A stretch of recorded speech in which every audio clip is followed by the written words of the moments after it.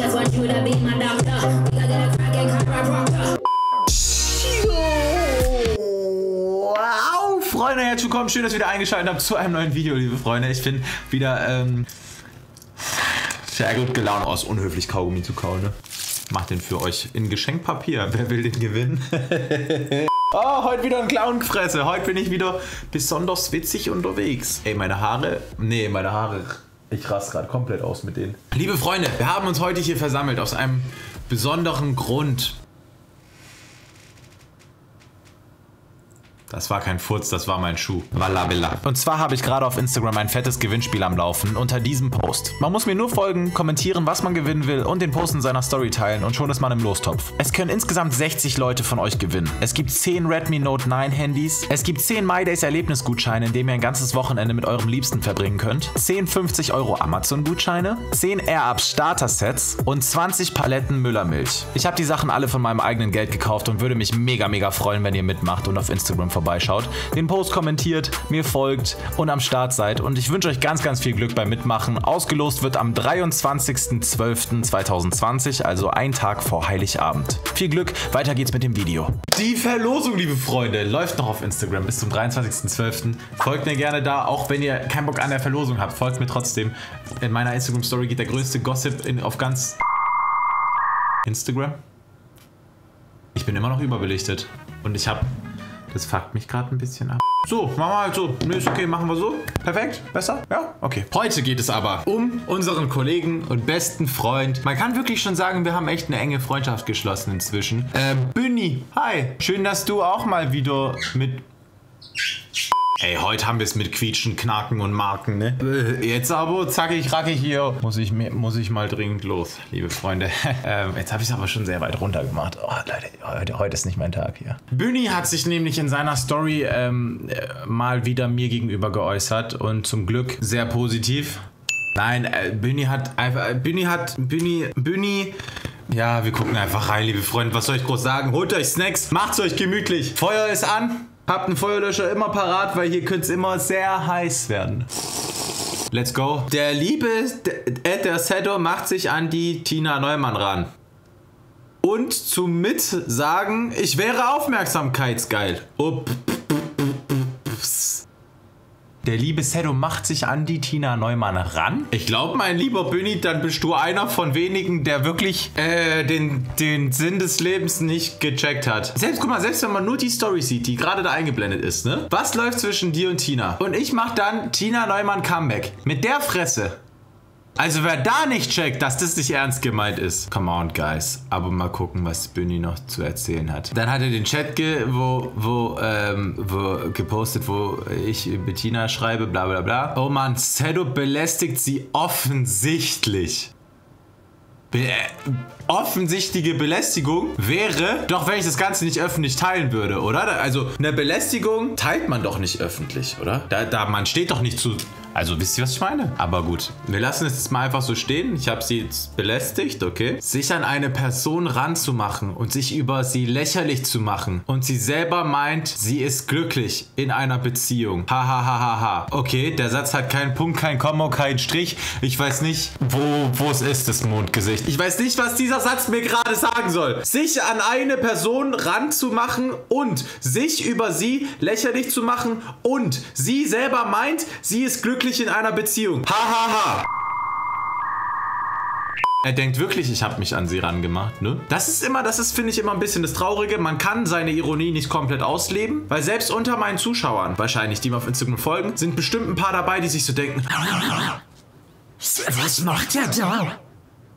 Er macht sich an sie ran, obwohl sie sagt, sie hat einen Freund. Das ist, das, das ist mein einziges Problem mit Ironie. Aber das Beste, was jetzt kommt, liebe Freunde, Bühni redet natürlich noch zu uns. Und da kann ich nicht Nein sagen. Zu dieser Engelsstimme. Das sagen wir alle nicht Nein. Ote Arnenes. Talk Dirty Tommy Buni. So und nicht anders. Lassen wir den kleinen Bühni mal reden. Interessiert eigentlich die ganze Sache nicht, aber ich würde dazu mal meinen Senf geben. Erster Satz. Mich interessiert die ganze Sache eigentlich nicht. Aber ich will meinen Senf dazu abgeben.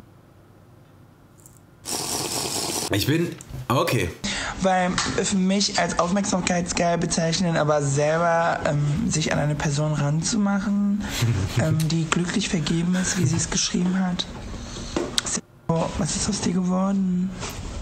Wie, was ist aus mir geworden? War ich in deinen Augen mal was Besseres, als dass ich jetzt bin, oder was? Eins gegen eins, oder was? Bo- So, du Stress. Oder was? Sich an eine Person ranzumachen und zu mir sagen, ich bin aufmerksamkeitsgeil. Ja, bei uns ist das so ein bisschen so ein Unterschied, weißt du, Billy? Bei uns ist das so ein kleiner Unterschied. Wir machen das auf eine verschiedene, auf eine andere Art und Weise. Bei mir war das jetzt nicht so, dass ich lange überlegt habe und geplant habe, ach komm, ich komme mal mit Gigi zusammen und tu so, als wären wir zusammen und dies und das und jenes, sondern bei mir war das so spontan, hat jemand gefragt, dann habe ich drauf reagiert, dann habe ich einen kleinen Witz draus gemacht, dann habe ich gemerkt, die Person, um die es bei dem Witz geht, Anstatt dass sie sagt, hahaha, ja, alter Maul und lass mich in Ruhe, hat sie gesagt, äh, was bringt dir das jetzt schon wieder? Und immer wenn Leute giftig auf sowas reagieren, da denke ich mir immer so, ey, jetzt muss einer nachhelfen und das Stöckele aus dem Arsch ziehen. Weil sonst macht's kein anderer, ja? Und da muss man einfach mal zeigen, ey, nimm mal dein Scheißleben nicht so ernst. Komm mal wieder runter von deinem Allmann-Trip. Ey, rechtfertige ich mich gerade vor Benny? Hm, mal was Neues. Ich brauche irgendeinen Sponsor, ne? Leute, ich brauche einen Sponsor, der alle meine Videos sponsort, wo ich die ganze Zeit das trinken kann. Irgendwas Leckeres. Findet mir einen Sponsor. Man sollte erstmal immer an seine eigene Nase fassen, bevor man über andere spricht.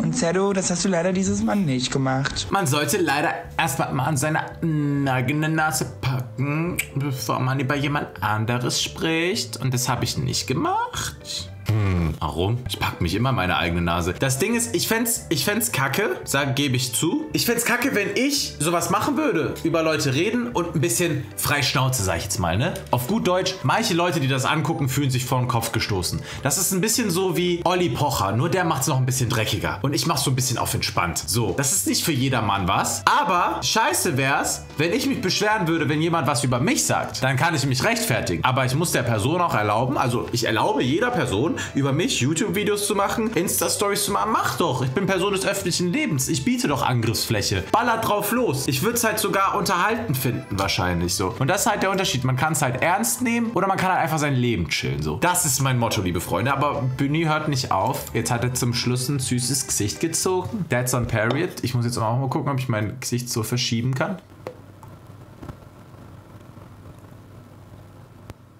Das ist ganz gut eigentlich, ne? Also, liebe Freunde, ihr hattet ja gerade den Vergleich. Ich fand's gut. Ich fand's gut. Okay, machen wir weiter. Die Jungs tragen solche Boxershorts, die solche tragen. Die Zeddo selber will Leuten draußen vorschreiben, dass Kleidung ein Geschlecht, dass Kleidung ein Geschlecht haben. Kleidung hat niemals ein Geschlecht. Kleidung hat ein Geschlecht? Das wusste ich nicht. Hey, bist du weiblich oder männlich oder divers? Kann man dich klären? Okay, Kleidung ein Geschlecht haben und ich kann es nicht verstehen. Okay, er geht jetzt darauf ein, dass ich sage, dass man, äh, dass Kleidung nur zu einem Geschlecht, zu einem Geschlecht gehört. Bin ich mal gespannt, ob ich das jetzt sage. Diese lockeren Boxershorts, die dann solche Unterhosen tragen. Äh, auf Tanga-Basis angelehnt. Nicht schlecht. Meine Maske. Mich wundert's, dass dem noch sein Handy abgenommen hat und so gesagt hat, hey, lass es lieber machen, machen, nee, nee. Okay, darf ich kurz stoppen an der Stelle und fragen, wo, in welcher, in welcher Videosequenz sage ich, beziehungsweise schreibe ich vor, wer was zu tragen hat und wo sage ich, man darf es nicht tragen? Das, das würde ich gerne einmal schwarz auf weiß bitte widerlegt haben und dann können wir weiter quatschen. selber meinte, ähm, hat sich halt indirekt lustig gemacht ähm, im Video und meinte, dass ich einen Tanga trage. Es ist egal, was man im Jahre 2020 trägt. Kleidung hat kein Geschlecht. Wie oft soll ich das noch vermitteln? Und ich verstehe nicht, wie Leute sowas zu können, die sich darüber lustig machen, was andere anziehen und sich darüber aufregen. Ich finde es ehrlich gesagt schade, weil er hat schon äh, eine große Reichweite und bekannte Kooperationspartner. Bünni. Mal. Also, mir wird gerade vorgeworfen, ich mache mich darüber lustig, was er anhat. Ich mache, ich habe gesagt, oh, auf Tanga-Basis angelehnt. Das ist wie wenn du zu mir sagst, yo, deine Kette. Haha, keine Ahnung, da ist ein Ring dran. Alter, was weiß ich? Das sage ich zu meinen Freunden, das sage ich zu meinen Nicht-Freunden.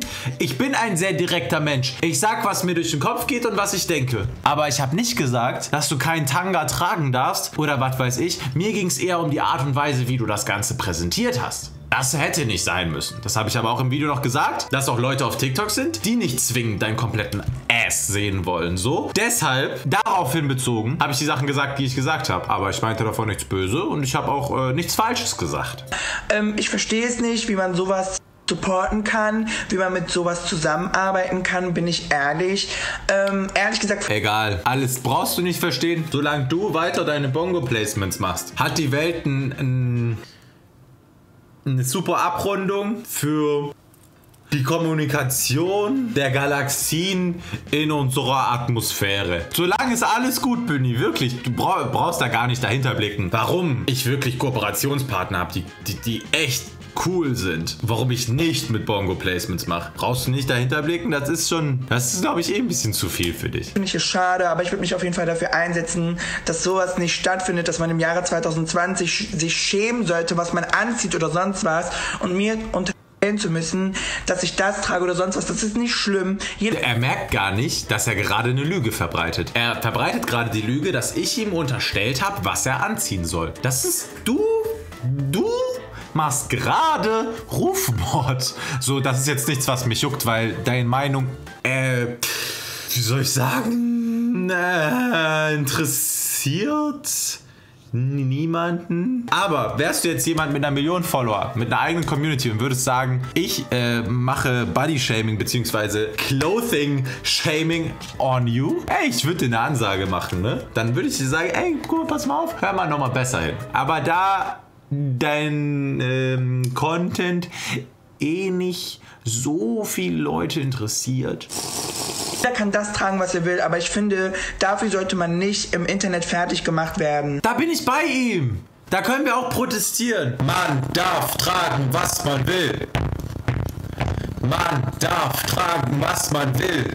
Nein, jetzt for real, Leute, mal kurz Hand aufs Herz. Real Talk. Ich bin der Letzte, der irgendjemanden dumm anschaut oder jemandem sagt, du musst das tragen, du musst so aussehen, du musst dieses. Bin ich der allerletzte. Der allerletzte. Der aller allerletzte. Ey, Büni, bitte kannst du ein bisschen mehr noch machen in deine Story drin über mich lästern, damit dann kann ich ein Video draus machen. Das, und das, das muss ja auch über 10 Minuten gehen. Das muss ja auch muss ja auch ein bisschen länger gehen. Mach mal ein bisschen mehr Content, bitte. Ich find's so süß, wie, wie er die Story auch bearbeitet, so mit so Dollarzeichen und Geld, was so fliegt und so. Und ich habe diese Memo gemacht, weil ich mir so dachte, ey, Büni, du kommst gerade perfekt. Ich wollte heute eh noch ein Video drehen. Ich wusste nicht welches. Jetzt machst du hier wieder irgendwelche lächerlichen Stories. 1A für mich. Perfekt!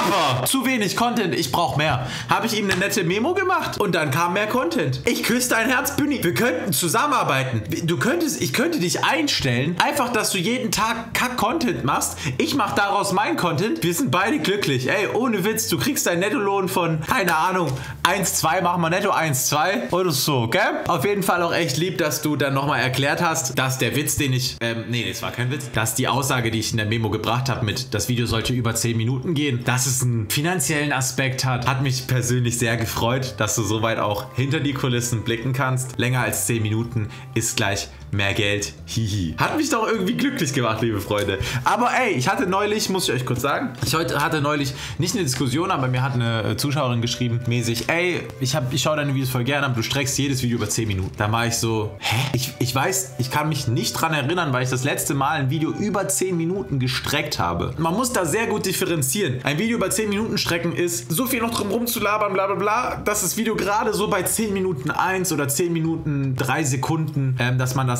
so schneidet, dass da noch möglichst viel Müll drin ist. Meine Videos inzwischen haben eh eine Minimum-Durchschnittslänge von meistens 14, 15 Minuten, wenn nicht sogar länger, weil es einfach viel zu erzählen gibt, weil ich gerne viel erzähle und Punkt B, C, D, E, egal welcher, ähm, den ich der Zuschauerin auch erklärt habe, ich kriege nur Feedback, dass meine Videos länger sein sollen, noch länger und noch länger und dass die langen Videos am geilsten sind. So, das ist euer Feedback, was ihr mir gebt. Und ich versuche natürlich mein Bestes. Ich kann jetzt nicht über so ein paar Stories hier ähm, eine Stunde reden und euch einen Netflix-Film draus machen. Das ist natürlich schwer. Das ist ja auch für mich alles mega viel Arbeit, das dann zusammenzustellen, zusammenzuschneiden und was weiß ich. Aber ich gebe mein Bestes, dass wir zusammen gemeinsam eine schöne Zeit haben, während wir unser Essen, unsere Mahlzeit verzehren. Ich hoffe, du isst gerade, du kleinen Pässer.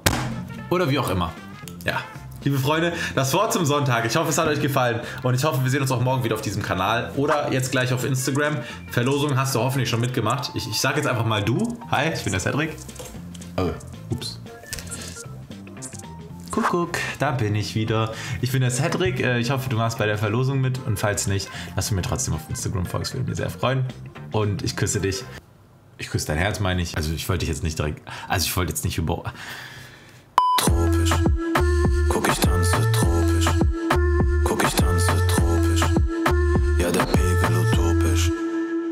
Tropisch. Ja, der